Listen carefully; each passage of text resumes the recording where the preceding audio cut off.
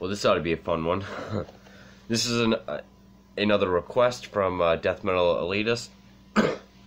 he asked me if I would do the 2009 Dutch horror film, The Human Centipede.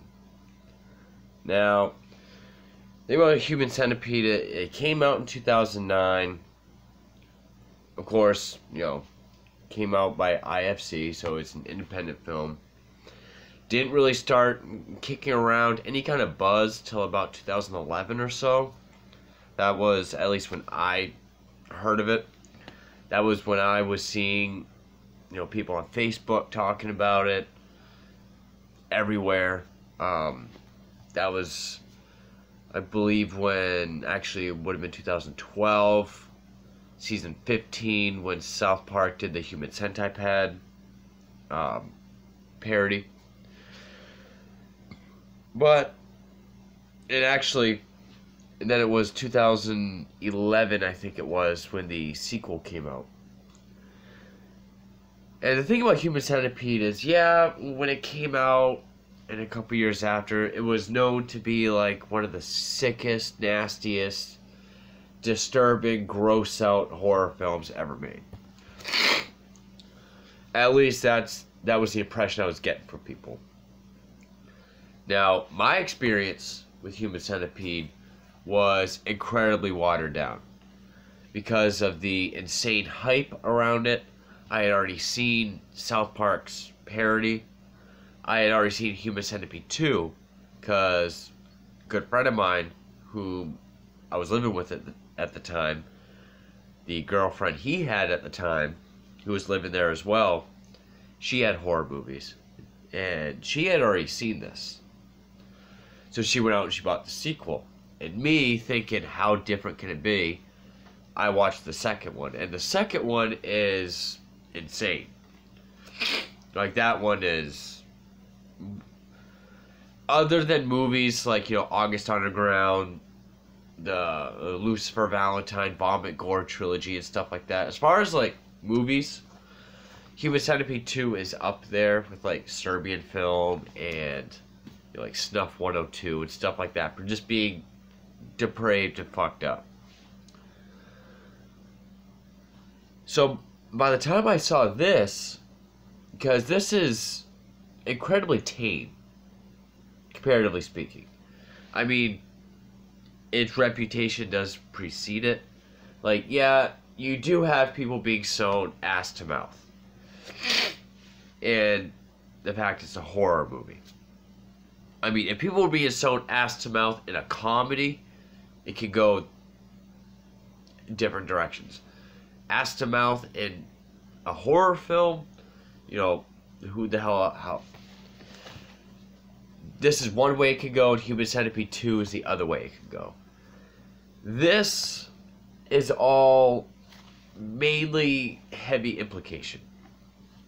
And the story is simple. You have these two um, American girls who were in Germany for some reason, or Denmark. It's a Dutch film, but you know the character's German. They're over in Europe for whatever reason. These like nightclub kind of you know like they when they walk they like hold hold their purses like this and their heels and they're always just like, oh my god, like, oh, like seriously, oh. So seeing them get what they get, this is kind of fun, but that's just me being cynical. They get car problems. It's out in the rain. They go to the nearest house to seek help. And there's this doctor named uh, Joseph Heiter, played by uh, Dieter Laser. Laser. Probably pronouncing it wrong. He's a German actor. I mean, this guy. Some parts, yeah, he overacts, but other times he looks like a fucking German psycho. He drugs them when they wake up, they're in hospital beds. There's this other guy, but he ends up killing him because his body type is different. Apparently, he was a you know esteemed doctor of separating Siamese twins. Now he's retired, but he has this dream of assembling three people, ass to mouth, create one digestive tract to create a human centipede. The replacement is an Asian fellow who he puts in the front. He talks about how he did it with Rottweilers to start with, and he hates human beings. He feels no connection with human beings, so he creates this grotesque kind of creature. I mean, this cover kind of sets it up, or sets the tone. I mean, you know something horrific's going on here, but you can't really see it. Like, the the whole first act of the film is setting it up. By the middle, it is also incredibly slow. You know, he he cuts the uh, uh, ligaments in the knees, so they're paralyzed from the knees down. Cuts out, uh, pulls out certain teeth. Cuts ass cheek flaps and cheek flaps so that you know it's got like this sort of V. And then throughout a lot of it, he's trying to train the damn thing. You know, treating it like a dog. At, at one point, you know, he try he gives the Asian guy a newspaper in his mouth to try to get him to come to him. It's not bloody, and even the the surgery is kind of tame. Know, it's it is kind of amazing that this movie has the reputation it does. It is probably because it's the whole mouth to anus thing. I mean, you would expect at some point what happens when someone has to shit. There is one scene in here, but the way it's handled, like there's no sound, there's no fart, like there's no fart sounds. You don't see fecal matter. It's all done, you know, like the guy does say I in, in Japanese or Chinese. He says I have to shit. You kind of see him kind of like his stomach and her facial reaction getting shit in her mouth. But that's really it. It's just really one of those what what you do in your own mind is probably worse than what you're seeing. This one I did have to rewatch again because even though it's that simple, I did it is kind of forgettable. And also the whole 100% uh, uh, medically accurate. I don't know how, how accurate it is. I mean, I'm sure to a certain extent it is. I think that is might be part of the marketing because you know human centipede first sequence. Two um, final sequence or full sequence. Yeah full sequence. That says 100% medically inaccurate because that's like a backyard movie. I will do the sequel at some point. That one I don't really have to rewatch because I used to watch it a lot because I I used to really like it. I used to be into a phase where I could I was just obsessed with getting the most fucked up shit I could find. You know, not sound pretentious, but you know, I do kind of look for quality films now. You know, that's why I've been wanting to do like Universal monster films because I think they're classics. But yeah, Human Centipede, it's kind of a phase that I went through, like, to find fucked up shit. And believe it or not, uh, writer and director Tom Six had a hard time selling this concept. Um, apparently, apparently the idea came from a conversation he was having with someone about uh, pedophiles and sex offenders, what a proper punishment would be. And he said just taking the prisoners and sewing them ass to mouth. Now, whether this was the best way he could tra- translate it from idea to script to film, or if the whole trilogy to eventually get to a prison was his whole plan, I don't know. I hate Human Centipede 3. I I waited a while for that to come out and it's it's a piece of shit. I mean, not that these are high art, but you know, it's a it's a bad movie. I thought it was disappointing. You know, Tom Six kept saying, you know, this is going to be the worst one, and it's going to upset a lot of people.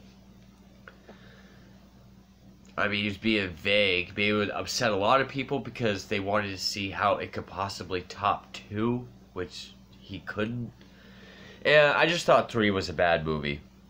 I don't own it. I'm not watching it again. Don't feel like I need to. But I I will do Human Centipede 2 at some point. Perhaps the funniest thing about the whole Human Centipede, or at least the first one, because usually when people talk about Human Centipede, they're talking about the first one. I don't think too many people kept going to the sequels. Which even Roger Ebert, of all people, Roger fucking Ebert, depraved and disgusting enough to satisfy the most demanding midnight movie fan. Roger Ebert is the same critic that called Friday the 13th trash. He called it trash, vile garbage, which, and there's a number of critics that are saying that. Why is it 30 years ago, uh, Friday the 13th, or The Burning, Maniac, these are all movies that are garbage, they're depraved. Which yeah, Maniac is pretty twisted for back then. So so let's look at Friday Thirteenth. Someone gets stabbed. Someone gets their throat slit. Someone gets an axe to the head. You get great blood and gore effects. That's trash and garbage. But movies like Martyrs or a Serbian film, you know, where the shit in that movie happens, or Human Centipede, where people are sewn ass to mouth, that's called artistic horror. Like, Friday the 13th, a killer on the loose killing teenagers who are, who have poor moral values, that's trash. But people being sewn ass to mouth and shitting in each other's mouths for one digestive tract, that's art. I don't know what happened to horror the whole artistic horror movement I kind of thought was bullshit anyway. Because there's nothing more artistic. You know, it's all movies. One isn't any more artistic than the other. If you want to be more artistic for me, play with the conventions of filmmaking. I mean, it's not really a horror film, it's still rape revenge, but uh, Gaspar Noé's Irreversible. That's artistic a rape revenge film that's chopped up into 13 bits, put in reverse chronological order, where the camera's going like this for the whole opening and everything in the film, and then like at, as the movie goes, it gets like steadier and steadier, and then eventually during the rape scene, it just stops. So yeah, the whole artistic horror movement I don't fucking get. This movie was a huge letdown, again, because I did see the South Park parody and I did see the sequel before this. I mean, it's definitely original. I gotta give it that. It's a horror movie about. I mean, we've seen Mad Doctor movies. How many Frankenstein films? Reanimator. Now, a German dude that wants to sew people ass to mouth. So yeah, this was for Death Metal Elitist. Uh, I don't know if he loves this film. I don't know if he just wants me to do like ones he likes or you know Like if he thinks the more fucked up they are, the better horror movies they are. I don't know. Um, he only asked me to do this one. Uh, maybe I'll do the sequel sooner than later, just to get it done. I do like the sequel. I'll say that because yeah, it does go fucking all out.